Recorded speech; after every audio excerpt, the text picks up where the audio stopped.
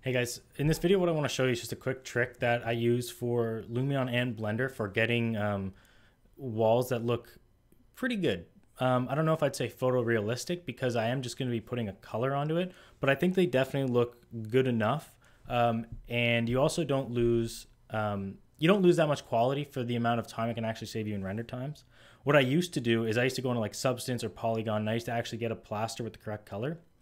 Um, but I find that actually playing around with those can be a little bit difficult. And if you really want like, you know, you really want like I guess the detailed walls like that, you're going to be putting like a 2K texture in.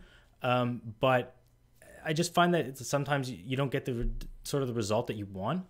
Uh, but this way is a much smaller texture, and you can kind of get that exact color that you want. So what I would recommend you do is just open up like something like Benjamin Moore, uh, and I'll maybe put like a link to this. But you basically just find whatever color you want. So um, I think if I get like this one here, so it's Englewood Cliffs. Um, I'm gonna go and I'm gonna go to Snipping Tool, and I'm just gonna do this. I'm gonna make a little square. You can make whatever shape you want. It doesn't really matter. This is gonna be tiling. So uh, I'm gonna go in here and I'm gonna save this to. It's actually another one I saved, so I'll just put this and I put like Englewood Cliffs, and I'm gonna save that. I will uh, just move this off to the side for now. Um,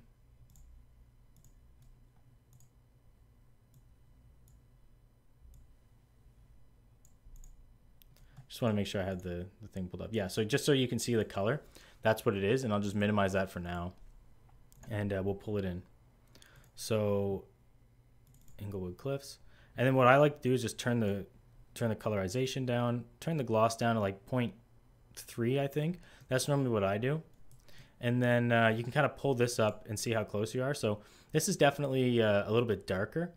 So what I would do is one, I'd turn the reflectivity down a little bit, maybe like, uh, yeah, maybe something like this. I it, it, completely depends on the scene. Like if there's an open, or if there's kind of like a light next to the window and it's looking really reflective, just turn it down. But maybe if it's like an interior scene where you know the light isn't as like it doesn't look as reflective you can turn it up a bit to give it some of a shine. Um, that that's just completely up to you and what you think looks best.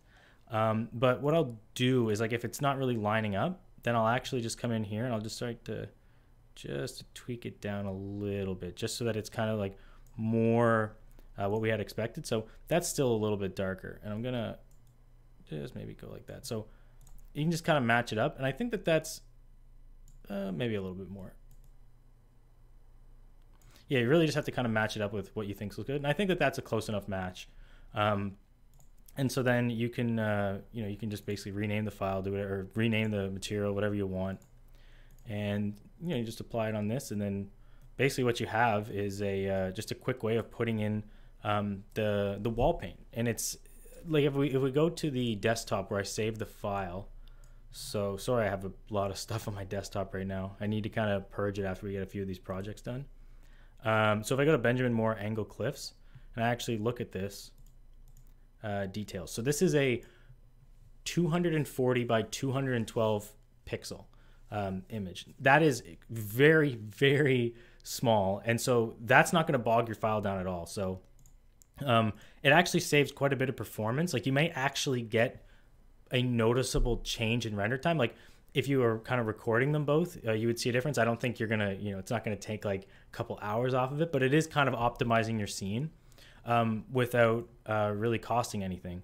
Uh, and you, you, as I said, you can kind of, you know, you pull it up, you look at it, go, okay, I think that's matching.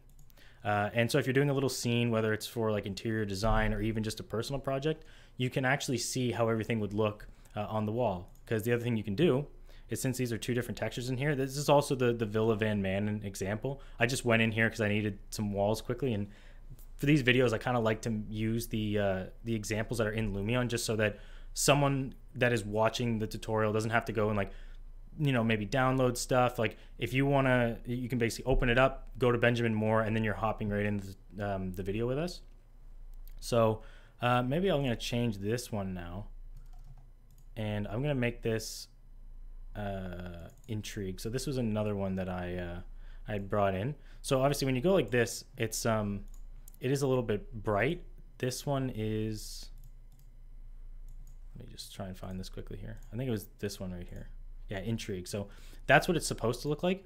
And as I said, it is a little bit light. Um, I think that if you kind of if you turn the gloss and the reflectivity all the way down, it will look darker. But that's not quite what we want. We do want it to have a bit of shine. So um, that what I like to do is just like to put it on uh, either black or white, depending if you need it lighter or darker, and then you just kind of just slightly change it until you have more so. I, mean, I think that that's pretty close there. And um, yeah, as I said, if you um, textures are actually something that I want to make a video about in the future about you know how much they actually can um, bog down your renders. Uh, I know that that's something that actually contributes a huge amount to it. So any tricks that you can do like this that you're basically just getting free memory and you're getting free file size. Um, because as I said, if you have a, a, a 240 by like 240 square image, basically, it's just going to tile over and over again. And I don't think you're penalized in Lumion for having something tile over and over again. You're just penalized for how big the actual import is. I could be wrong about that. I actually did ask the devs. So um, hopefully I'll get a reply back on that. And then um, you know, maybe I'll just put a comment below the video.